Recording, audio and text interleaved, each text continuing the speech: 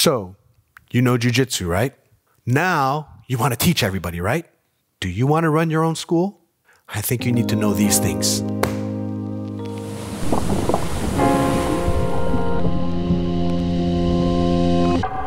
Hey everyone, Ryan Young, Kama Jiu Jitsu. I hope you're doing well.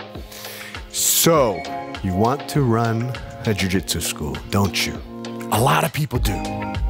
For the life of me, I don't know why. I kind of fell into this by accident. I have been doing jiu jitsu for decades, and it wasn't until six years ago when we opened Kama Jiu Jitsu in Dallas that I ever thought about doing one. But I'm here to help you out. So the first question you need to ask yourself is why do you want to run a jiu-jitsu school? That's probably the most important question because that is the very first question you have to answer. If you don't have a good reason why in your mind, then don't do it. Because jiu-jitsu is fun. At least it is for me. Hopefully it's for you too. But sometimes running a school is not fun. Sometimes jiu-jitsu is our outlet for whatever we do normally in life. And you don't want to make your hobby, your outlet, be drudgery. Now, how would that happen? Well, sometimes running a school will take the fun out of your jujitsu. In which case, if you're like me and you have no other hobbies, if jujitsu is not fun for me, what am I going to do? Right? There, there's, I have to figure something else out. And me being 52 years old, eh, I've already got my life pretty much set the way I want it to be and I don't want it to be I don't want any part of it to be drudgery. You know, it all it all has to be good for me. So that's your first question. Ask yourself why and jot the reasons down that justifies why you want to run a school. If you can't give yourself a good why, there's no harm in not running a school. Just do what you're doing already.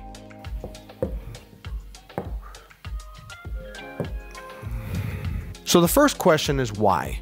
The second question is Should I be an instructor for hire or should I be an owner? That's a huge difference.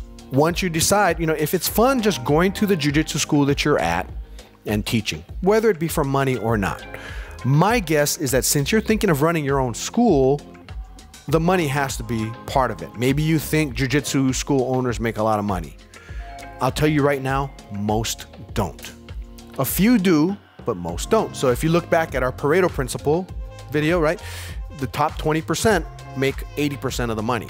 So the top 20% of school owners make 80% of all the money made in a jiu-jitsu school, pretty much. So just know that if you're going to be an owner, you're going to be one of the 80% that makes only 20% of the money for a period of time. After which point, if you can continue on with this journey, then you'll perhaps be one of the ones making more money. I don't know. You know, I hope you do it, but just know sometimes you're better off just being an instructor versus an owner. I'm not trying to discourage you, there are benefits to both. But sometimes you may just want to be an instructor because another reason you might want to think about if I own the school, I want to own a school because I want to control everything. Right? I want to determine the, how the school is run. I want to determine everything. Whereas if you're just coming in as an instructor for hire, you just come in, you teach, and you're out right? You can just kind of it's like grandparents with kids, right? When grandparents come in to their to to their to meet with their grandkids, they go and spoil them, take them to ice cream and drink Dr Pepper and give them candy and all that kind of stuff. And then what do they do? They have all that good time with the with the kids, hand them back to the parents, let the parents now deal with the fact that kids got sugar high now, right? and one thing you can also consider is one of the videos I did very recently talked about risk, right? The risk of the owner they bear all the risk, whereas the instructor for hire bears no risk. So go back to that video. Rusty will put it right up there. You can go and watch it and you can kind of get a refresher on this part of it. So if number one is why, and number two is do you even want to be a school owner or an instructor? The number three is I'm assuming you want to be an owner. So number three would be have you ever read the book called The E Myth, E dash Myth, and it's by Michael Gerber. E stands for entrepreneur. Because if you're going to be an owner, you're now going to be an entrepreneur. So this is a very important book to read. And I would recommend you go and hit the link down in this in the description, and you can get it uh, through one of our links on Amazon. But it's a book you need to read if you want to be a business owner. If you have read it, then you already know what I'm talking about. Why is that book important? What Gerber does is he uses as a couple of examples. One was uh, a woman who I think she's a baker. Yeah, I, I read this book like 20 years ago. Um, but she was a baker, and her thinking was, I'm doing all the work for my boss who owns the bakery. Perhaps I'd be better off running my own bakery right? That's like the jujitsu school teacher. You know, I'm teaching and I'm the one that's teaching all of the classes here. Uh, the owner of the school is out doing all kinds of other stuff, but I'm here holding down the fort. Maybe I should do my own school. Maybe, maybe not. So, what he describes in this book, among other things, I'm just going to give you one of the lessons he talks about, was this woman who used to just come in and bake and then leave. Now she realizes she can't just bake, she has to run the business. She's the entrepreneur. She has to deal with regulatory issues. She has to deal with licensing. She has to deal with the, the food inspector, all those types of things that she never had to deal with before. Conversely, what happens? Either your day gets really long because you have to add that those tasks on top of your baking duties, or you're going to be baking less because you're having to spend time doing the other stuff. Now you're going to have to bring in an apprentice baker. So that's just one example. But yes, go ahead and get this book. It's not a really long book, but it will kind of open your eyes to the landscape that you'll be looking at if you decide that you want to go that route. So, if number one is why do you want to open a school? Number two is you decided you want to be an owner. Number three is you read the E Myth. Number four would be do you have any experience running a business? You don't have to be an experienced business owner or having run a business before to open a school, right? There's always that first time. You don't need to have run three, four, five businesses and then say, well, yeah, I've done it before, so I can do it. Yes, it actually helps to have business experience, but that's not to say that your first business cannot be your jujitsu school. Just like your first business can be anything you want, right? It's just a matter of here's my hobby, I love doing it and I want to take it to the next level. I want to do it full time. I want to make my living off of it. So if you've ever run a business, you know what I'm talking about. If you haven't run a business before, you're going to have to jump on a pretty steep learning curve because if you've never run a business, you don't know what you're confronted with. If you have a team of mentors or a, a circle of friends who have experience running a business, perhaps they can help you. Otherwise, you're going to have to hire yourself some advisors. They have some people that actually advise people on running a business, right? Maybe through Clarity or something. You know, I've gotten some people coming over to me on Clarity and, and asking me, and I've spent some time going over some concepts with them to run the business. Or you maybe have a, a, a CPA who you trust or an attorney that you trust. You can have them help you as well. So find yourself an advisor or two or three who can help you. It's better to pay the money to an advisor if you need to hire them to find out if what you're going through is the wrong thing than to not pay the money and realize after you've spent a ton of money in your business that you've done the wrong thing. Right? Think of it as buying a used car. I have no mechanical experience with cars. I know how to start it up and just drive it. So when I buy a car, especially a used car, I'll make sure to spend the money to send it over to, a to a mechanic that I use all the time. And it costs me like $100, $120. And if I like the car, you know, I go and drive the car and it seems like it's okay, but I don't know. So I'll say, okay, go ahead and meet me at this particular mechanic's place. I'll make the appointment. I'll pay the mechanic $120. He does the used car check for me, comes back with a list of issues. It says, this car needs this, this, this, this, and this. So now I have to make a decision. Do I still want to buy this car knowing that it has these issues? Or do I try to negotiate it down or do I walk away from it and just say, you know what, that $120 is well spent because then I'm not going to be out several thousand dollars trying to fix something that I could have walked away from. Same thing with a business. If you pay the advisors who are in the know about what you want to do so they can kind of tell you what you're looking at, you you know spend that money, that whatever money it is. It's not going to be a lot, but it might be a few hundred or maybe a thousand dollars. I have no idea spend the money and ask them, get your answers, and then realize, okay, eh, yeah, maybe I shouldn't do this. Sure, you did pay that money up front, but it's not like owning a business where you're going to spend a lot of money.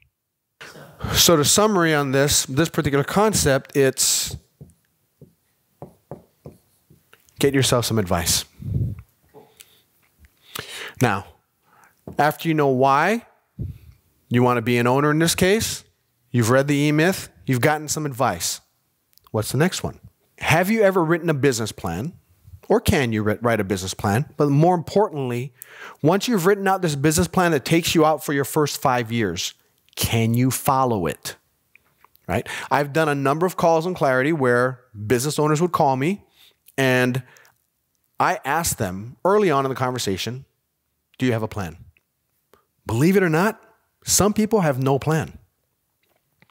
And the ones that don't have a plan, okay, now they're in trouble because they've already stepped into the into the realm of of opening a business, but they didn't know where what direction they would go or how they would get things started. No clue. The people who have a plan, I've found a lot of them have a plan and I ask them, Do you have a plan? Yes, I have a plan. When was the last time you read your plan back to yourself? Oh, it was when I wrote the plan. Okay. So how many years are you into your business? Two years. Okay, good. How many years was your plan for? Uh, I didn't have a time period. Okay. So you need to do a plan for five years at least. So do your one year plan, your two year plan, do a five year plan. You can even do a 10 year plan if you want, but when you're getting out that far, it's a little further out. The first five years are probably the most important.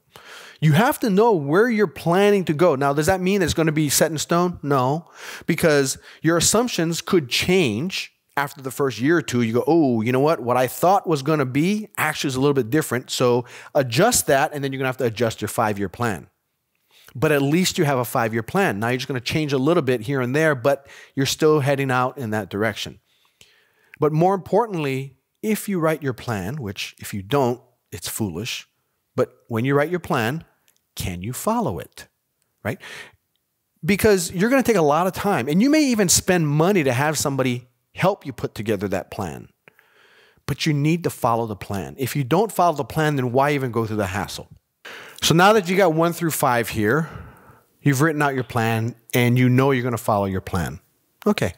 Now, as part of your plan, you need to have a location. Are you planning to locate in an existing facility it, it could be anything. It could be inside of a gym. It could be inside of another martial arts school. It could be inside of a church. I've seen jujitsu schools started inside of churches. It could be in your garage. It could be anywhere, right? Anywhere you can lay down mats, you can start. Have you decided you're going to go that route? Or do you want to go with your own specific facility? 24 7, that's your place. Where you locate initially is really important, and I'll tell you why. If you choose an existing space, then your time slots will be limited. You won't be able to have that place and run classes all kinds of times. For instance, your location or your area may be a place where people live there, but they leave to go to work and they come back at night. If that's the case, you might be better off having early morning hours. Or what if you're in an area where there are no kids, right? Kids like to train between the hours of say 3:30 to 6. Right? You need to have that place. Now, what if you're in an existing facility, let's say it's a martial arts school, and those time slots aren't available to you? Or what if you're in a church and the church has certain things happening on Wednesday night, uh, Friday night, where they have these various Bible studies, and you can't you can't run your classes during those days? Does that meet with your student base? Does that, does, does that align with your student base? On the other hand, you can go with your own space and you can run classes anytime you want. Problem with having your own space is that you have to pay much larger rents. And number two, an issue besides coming with a much larger rents and you have it 24 hours a day, you're going to need to fill that space up, right? Because you're paying so much, you have to make the most use of the hours available in a particular day. So here's how you think about it. What if you're the only instructor? Are you going to do the early morning 6 a.m.? Are you going to do the mid morning 10 a.m.? Are you going to do the lunch hour class? Are you going to do the kids' classes starting at 4? Are you going to do the evening classes starting at 6 or the late evening classes starting at 8? Well, those are all your time slots in a given day that you could do that you would need to fill up because now you have this place 24 7. You have to be able to do that to justify paying all that money, right? And with a lease, with a lease here for your own space, it could be a three year lease and five year lease. And they're going to hit you personally. When I say hit you personally, means they're going to ask for a personal guarantee. If the business doesn't pan out, they're going to sue you for the rest. So you have to look, and let's say it's $3,000 a month. Okay, that's $36,000 a year, right? And then that would be about $180,000 that you're going to be on the hook for for a three year lease or a five year lease, excuse me. $180,000. If you decide at the end of year two that you just can't continue running the business, you don't have enough students to sustain you, you're still on the hook. You know, the, the landlord will get you because you had a personal guarantee, which means they'll go after your assets. And that lease that you signed says that they can do that. Right? Oh, but I have a corporation and all that. Well, yeah, but in this case, to sign the lease for you, since you've never had a lease, they went around that and got to you personally. Is that something you can sustain, right? You need to think about that. Now, number seven, let's say you decided to do this.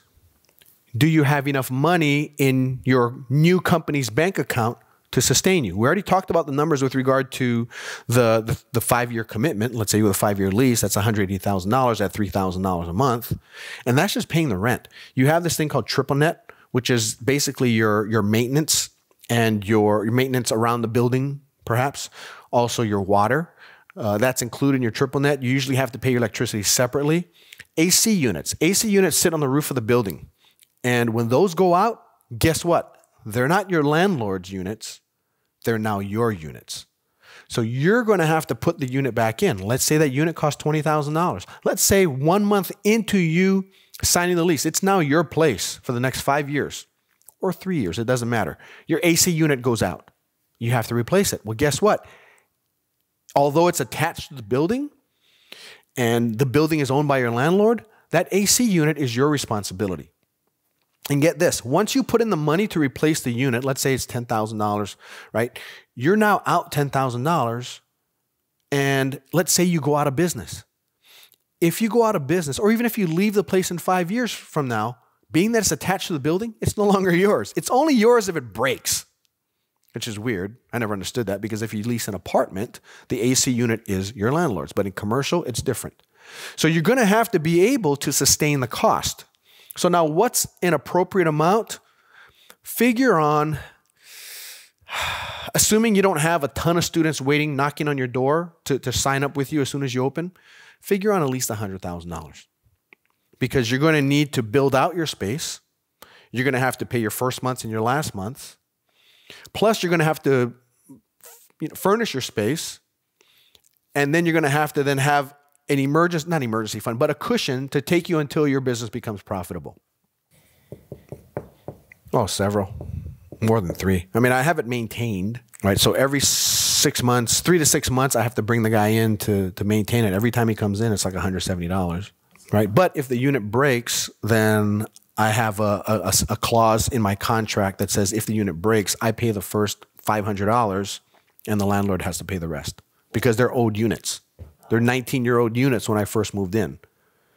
So I'm not gonna I'm not gonna take responsibility for 19 year old units. If they were like a year or two, then yeah, that could be put in there. That I could then take responsibility for it.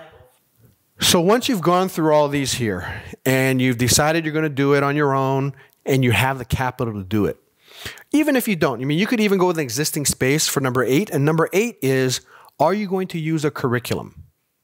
And if you are going to use a curriculum, whose curriculum are you going to use? A lot of jujitsu schools don't have a curriculum. We all know they claim to do to have one, but it's nothing written down. There's no order, or rhyme, or reason to it. It's just just do this and do this. In fact, whenever they teach, it's, know, what am I going to teach today? Oh, let me see what Gordon Ryan's doing today in the latest in his latest video. Okay, I'll teach that. Oh, that's pretty cool. Let me teach that to the students. That's how a lot of instructors teach. They don't go off a curriculum, but are you going to? It doesn't matter if you do or you don't. You can be successful either way. Don't don't make me let you think that you need to have a curriculum. It's just a question that you might want to ask. So once you've gone through all this important stuff, now comes the less important part, but something that you might want to think about.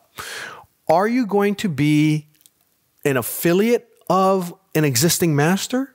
Or are you going to go off on your own, right? You're going to be, you know, John Smith Jiu Jitsu?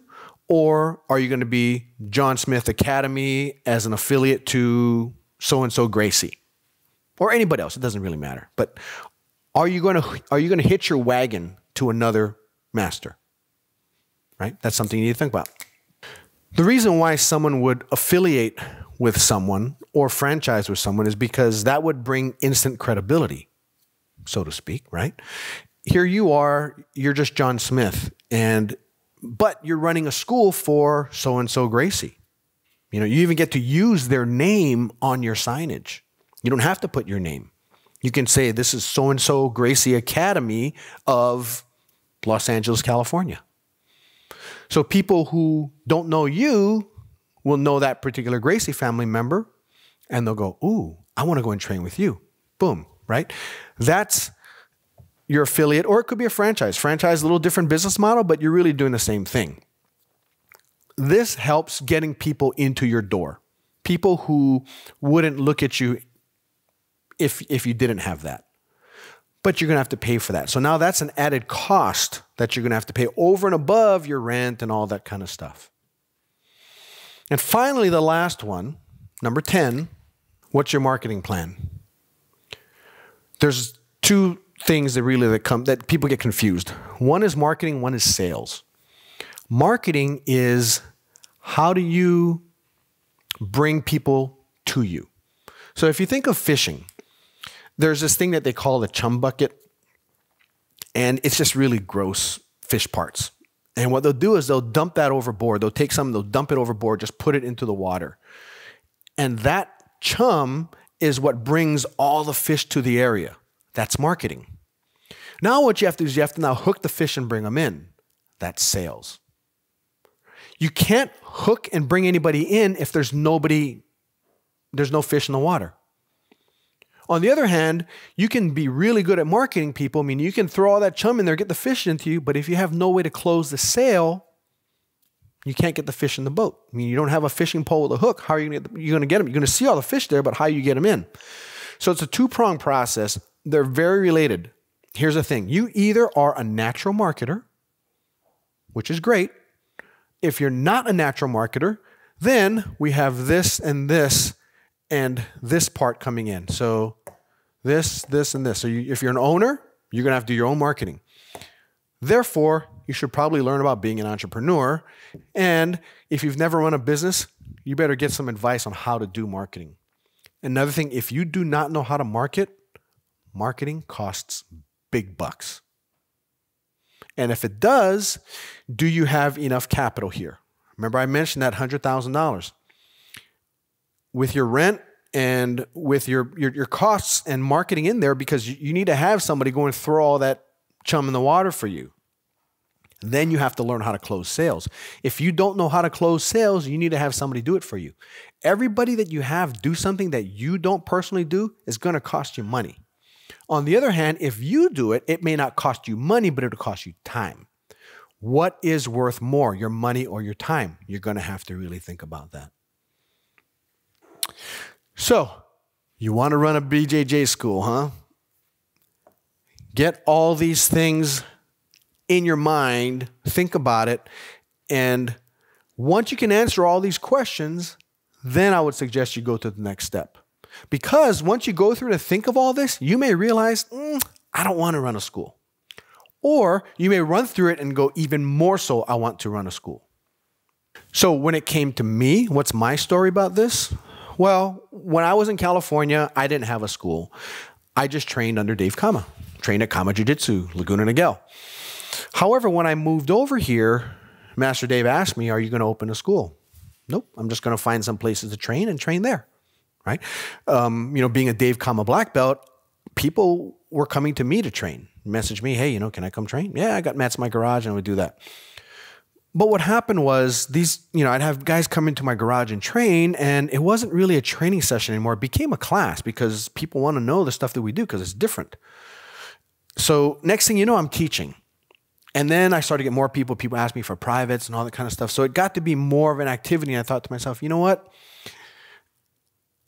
If I'm going to do this, when am I going to get my time to train? Well, I went to a local neighborhood school, school out just outside of my town, actually, trained there. And this particular individual saw me as a threat. Didn't see me as somebody, hey, you know, I can use you over here. He saw me as a threat. And because of that, told me I couldn't train there unless I signed something called a non compete. So I didn't sign it because who knows what's going to happen later on down in life. Uh, and so I just said, nah, I'm not going to sign it. He said, okay, well, you can't train here. But like I said, had he simply asked me, hey, Ryan, can you teach a class or two every week in exchange for training here? I'd have said, absolutely. And I would have been happy. But things didn't fall that way. So I had to decide what am I going to do. So that was the why. If I'm going to teach, I might as well teach a team now, right? Rather than just teaching a few people that train at other schools. You know, it wasn't really my thing. I just wanted to train. But if I'm going to teach, I'm going to teach. So did I I'm going to be an instructor for hire and owner? Well, I talked to Master Dave about it, and we said let's open a Kama Jiu Jitsu studio in North DFW. So we went that route. I had already read the E Myth, so I already knew what it was about. I had already run business, I still seek advice. But I, I already had experience there. Business plan, already wrote it. And yes, we do follow the plan. Existing space or new space? Well, we started off with an existing space.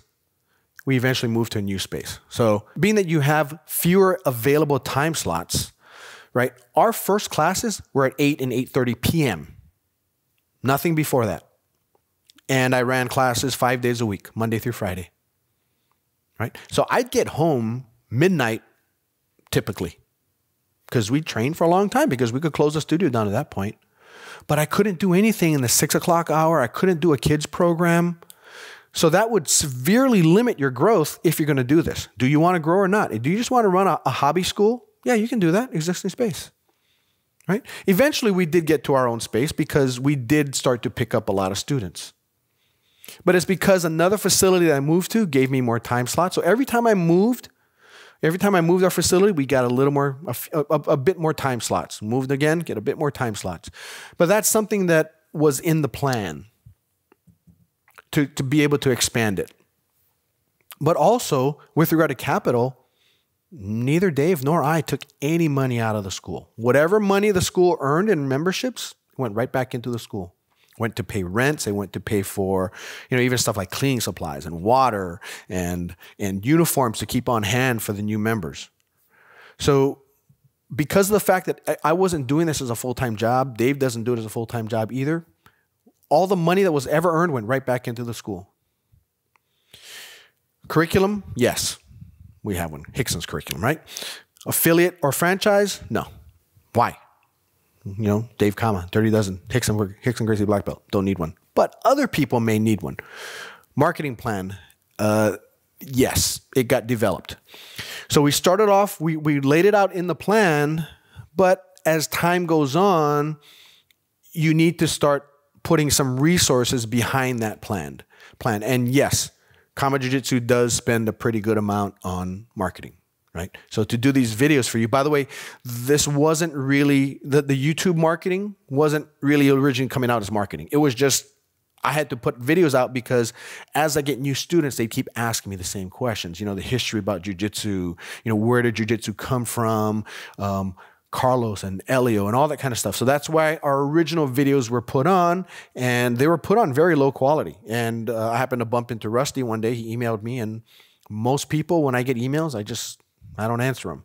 But his one, for some reason, I felt like answering, and I did. And and Rusty's been with me ever since 2015, 16. 2017. Was it 2017? So Rusty's been a big part of our marketing, you know, a large part of our marketing uh, for the last three years now. And that costs money, right? Not only for Rusty's time, but also you need equipment And uh, sometimes the equipment you buy, it's not really what you're looking for. You have to buy some other equipment. You gotta you gotta kind of play around with it. But also you have to you have to put ads out there on Facebook and Google and all that, and that stuff can run up into the thousands of dollars a month. So there is a whole bunch of things that you really want to know. I hope that this has been able to illuminate this to you as far as running a school. In fact, one of my instructors had told me his his three-year plan and he was saying he wanted to run a school. When I ran through these questions in our conversation with him, at the end of the day, he goes, "You know what? I just want to teach. I don't want to take time away from teaching to run a business." So he still has time to think about it, but it, it did open his eyes because at first all he thought about, you know, it'd be cool if I had my own school. Well, yes, it is cool to have your own school, but sometimes you don't want to have your own school. I'll give you an example. John Danaher, right? He doesn't have his own school, but he is, from what I understand, he's the man there. Right? I think he controls a lot of what goes on in the daily activities of Renzo Gracie School. Renzo Gracie, he's a name behind it. You know, everybody comes. He's he's the one that attracts everybody. You know, he taught all the guys that were probably were coming up, but at some point in time, you see him just start stepping away. Somebody like Danaher takes over, or other person. I don't know. I've never been there. I've never talked to them, so I don't know exactly. I'm just telling you from somebody who runs a school from the outside looking in. That could be right? Danaher chose not to break off and create the John Danaher Academy because he has his uh, what the Danaher Hit Squad within Renzo Gracie's school. So it's almost like he's got his own thing going, but he doesn't have to deal with the headaches of running a business. That may be a better situation for you. Don't know. Anyway, there's a lot more to this than what we talked about. This video is getting kind of long here, so I just kind of want to end it here. If you have any questions, go ahead and hit us below. Uh, if you want to get on a call with me, you can feel free. Uh, Rusty will have the link for clarity, and you can just uh, call me. We can or set up a time, and we can we can do that that way. I'd be happy to spend time on your situation only. Um, if not, just uh, keep watching. Hit the subscribe, and it really helps us out if you hit that like and share the video because that's how we can deal with the algorithms and stuff. And lastly, um, like we had announced earlier, we have kamajiujitsu.com and you can log on and get onto our online curriculum it's being built. Actually, I take it back. It has been built. You know, our Karma, who who's also part of our marketing team, he's all he's built it out already, and we're just starting to add content to it. So it's uh, kind of like how we had a Patreon, but cheaper and better. In that, it's going to be much more laid out. Our curriculum will be laid out in a, in a, much more logical fashion. It'll be teaching you linearly rather than circularly. And what we do is we'll we'll lay out need to know concepts. And we're going to have the good to know stuff on there as well, but it's going to be laid out for you in a nice, easy fashion that makes learning jujitsu relatively easy. Just need a partner in time and diligence. So go ahead and check us out, kamajiujitsu.com, and let us know. Give us some feedback on the site. Um, if you want to join one of our members, we'd love to have you there. Uh, we've got great things that are planned for that. I can't really go over a lot of what we have planned. It's not just simply a site where you get on as a member and just watch videos. There's a whole lot more coming, uh, but uh, hopefully you got on with our founding members drive that, uh, that that Karma set up for us. If you didn't, that's fine. It's still going to be cheap. It's not expensive at all. Anyway, that's all I got for you. Take care. Happy training. Bye now.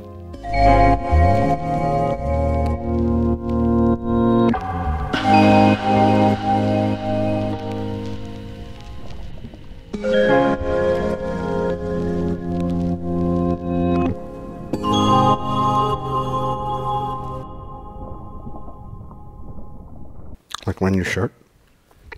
Today's the day. Pigs fly.